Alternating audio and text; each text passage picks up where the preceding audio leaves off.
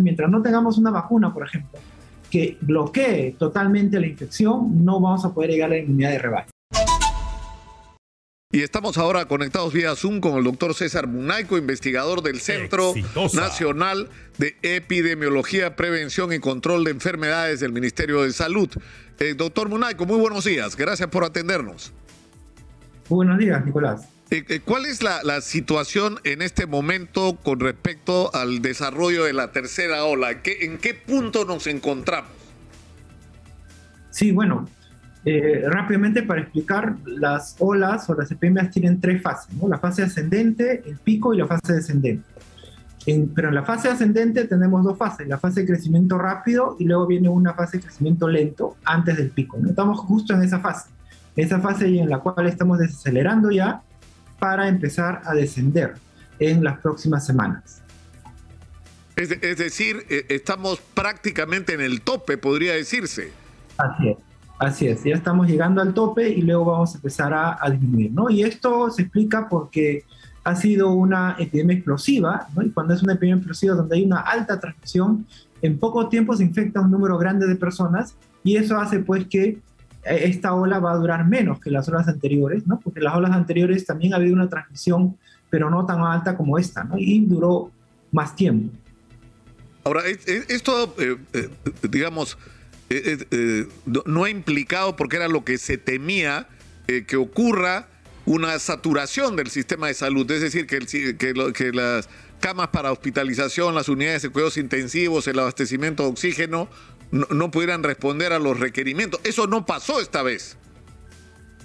Así es, eso no ha ocurrido, eso no ha ocurrido a nivel nacional, este, todavía tenemos camas en UCI, también camas en hospitalización, así como oxígeno, y básicamente está eh, se explica, ¿no? Porque tenemos una alta cobertura de vacunación, ¿no? En los países donde han tenido una cobertura mayor del 70%, se ha visto un incremento en el número de hospitalizados, obviamente, en el número de fallecidos, pero no tan igual que en las zonas anteriores, ¿no? A diferencia de Sudáfrica, por ejemplo, que ellos sí, con una cobertura de vacunación de 27% completa en toda su población, sí han tenido un incremento de mortalidad casi a niveles similares en, en las tres olas que han tenido ellos.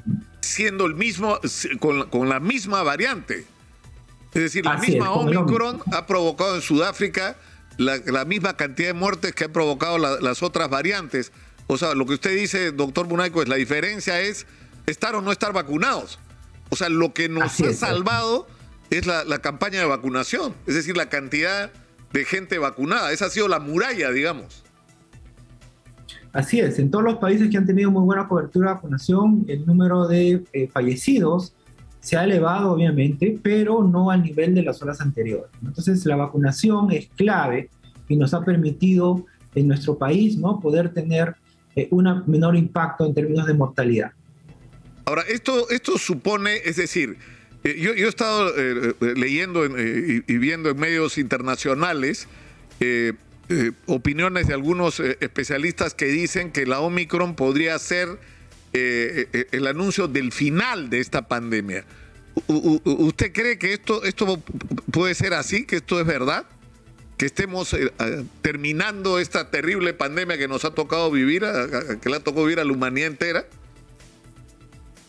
Bueno, en realidad este, todavía la pandemia no ha terminado, ese es un punto que tiene que quedar claro y ¿Y por qué no ha terminado? Porque eh, todavía falta eh, eh, que lleguemos a el estado endémico que se espera, ¿no? Cuando hay una pandemia. Y eso no se va a alcanzar a menos pues que tengamos una cobertura alta de vacunación en todo el mundo, ¿no? Somos un mundo globalizado, tenemos continentes como África, inclusive algunos países de Asia que no tienen muy buenas coberturas, entonces mientras esos países no logren alcanzar buenas coberturas, se van a seguir generando nuevas variantes. Claro, va a seguir circulando el virus. Así es, pero obviamente eh, como ya tenemos una buena cobertura de vacunación aquí en el país, ¿no? el impacto va a ser mucho menor ¿no? en términos de hospitalizaciones y, de mortalidad. ¿no? Pero igual hay que seguir atentos y manteniendo las medidas preventivas para eh, que en el momento que ya esta pandemia eh, termine, ¿no? podamos este, tener un menor impacto, el menor impacto posible sobre la población peruana. Ahora, ¿qué, significa esto? Eh, me pregunta mi, productora por el interno si, si, esto significa que hemos adquirido lo que en algún momento se denominaba la inmunidad de rebaño. Es decir, eh, que la vacunación ha reemplazado el contagio masivo? Bueno, es una muy buena pregunta. En realidad, al inicio, cuando había muy poca información, se pensaba pues que este, teniendo una cobertura eh, de vacunación y un número importante de la población vacunada o con inmunidad natural producto de la infección, se podía este, eh, terminar con esta pandemia, ¿no? Pero en realidad en el COVID no funciona así. ¿Por qué? Porque para que esto funcione necesitamos que la infección por COVID me dé inmunidad duradera, ¿no? O la infección por, o la vacunación me dé también inmunidad duradera, ¿no? Lo cual no ocurre, porque con esta pandemia, ¿no? Eh, con este tipo de virus, lo que ocurre es que tenemos una inmunidad, ¿no? Que, que no nos protege básicamente eh, eh, mucho de la infección, pero sí nos protege de las enfermedades severas y de la mortalidad. Entonces, mientras no tengamos una vacuna, por ejemplo, que bloquee totalmente la infección, no vamos a poder llegar a la inmunidad de rebaño. ¿no? Ahora, ¿esto qué significa? Que, eh, eh, por ejemplo, se, está aplicando la, tercera dosis, ¿no es cierto? Eh, pero eso también va a tener una, un tiempo de, vigencia. Es decir, dentro de cuánto tiempo vamos a tener que volver a vacunarnos. Así es. Este, lo más probable es que esta enfermedad se quede endémica y va a ser igual que la influenza, vamos a tener que vacunarnos cada cierto tiempo, ¿no? Durante el año. Y, este, eh, y obviamente el, impacto que va a tener va a ser mucho menor porque en general cuando una enfermedad se vuelve endémica, eh, la mayor parte son casos leves y van a tener algunos casos severos, ¿no? que se van a poder manejar por el sistema de salud. Claro, pero digamos, eh, en principio, ¿cómo sería esto? Que eh, hasta que no se eh, eh, invente una vacuna que le dé una protección como la de la influenza una vez al año, vamos a tener que repetir la vacuna que cada seis meses. Así es, eso todavía está por determinar, probablemente cada seis meses o cada año, dependiendo un poco cómo va evolucionando este, esta pandemia, ¿no? Y también una de las cosas que preocupaba al inicio, ¿no? Era si las vacunas que se habían generado con respecto a, los virus iniciales, al virus inicial que se detectó en China, servía y ahora ya los estudios dicen que sí sirven, ¿no? Y obviamente se requiere más adelante tener vacunas específicas para cada variante y eso también va a ayudar mucho más en reducir el impacto de esta pandemia. Entonces la vacuna ya se ha demostrado, lo estamos viendo en el país y en la mayor parte de países del mundo, que salvan vidas y que son efectivas. Ahora, acá tengo la, la información, doctor Munaico, de, información del, eh, del, 2 de febrero que hay 1.875 camas UCI, eh, de las cuales 1.330 están en uso y que quedan disponibles 545 en este momento. Y que las regiones que tienen menos disponibilidad, o sea, la región que tiene menos eh, disponibilidad es Tumbes, donde solo hay una, Moquegua hay dos, en Ayacucho 5, Loreto 7, Ancas 8. bueno, pero en general, incluso eh, eh, en los lugares donde hay mayor eh, carencia, hay camas disponibles, ¿no? Ahora, lo que, lo que sí es importante es, las personas que están llegando a las unidades de cuidados intensivos son personas que no se vacunaron y que se contagiaron. Y que pese a que esta variante Omicron a la mayor parte de la gente que está vacunada lo que le produce son efectos leves, en los no vacunados puede ser incluso mortal.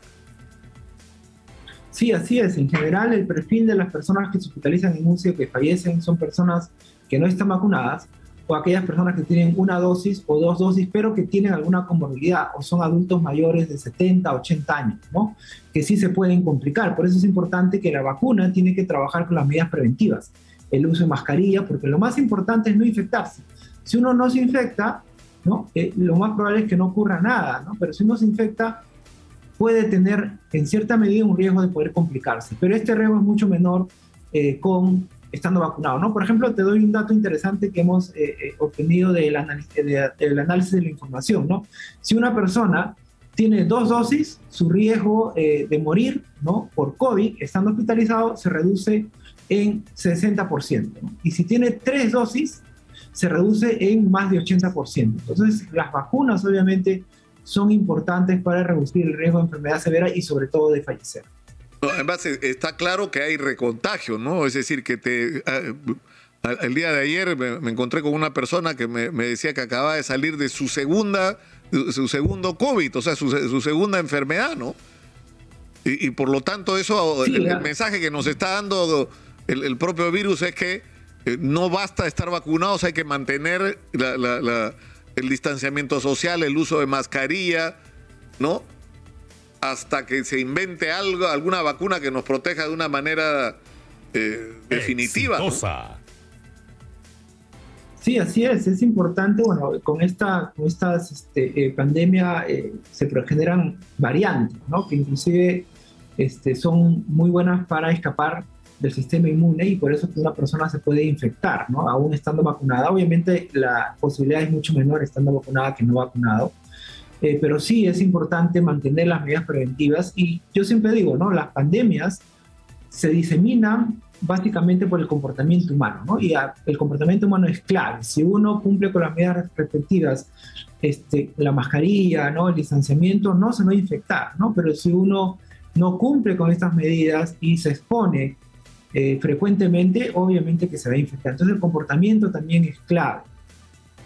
Ahora, yo, creo que el mensaje, justo me, transmiten amigos de, la infancia, amigos del colegio, que un compañero eh, nuestro que se resistía a la, vacunación ha terminado contagiado y en este momento está luchando literalmente por su vida en una unidad de cuidados intensivos. O sea, yo creo que el, el, el mensaje de la realidad es muy poderoso.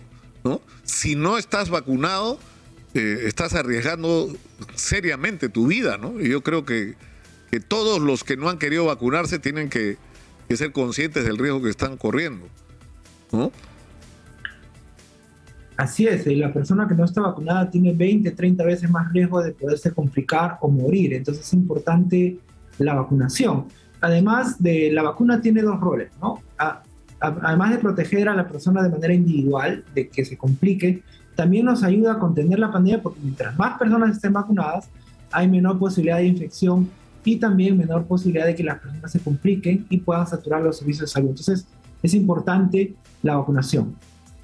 Doctor Munaico, muchas gracias por atendernos. Ha sido usted muy gentil, como siempre. César Munaico, investigador del Centro Nacional de Epidemiología, Prevención y Control de Enfermedades del Ministerio de Salud, ha estado con nosotros.